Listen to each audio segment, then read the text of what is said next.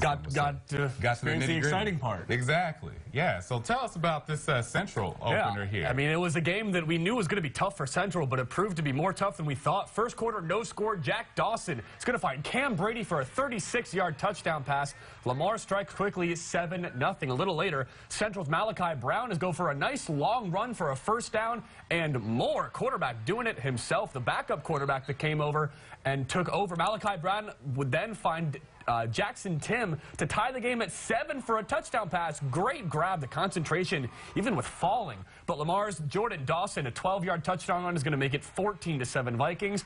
And uh, more is going to come from that game. Arlington is going to win big over Central, 55 to 14.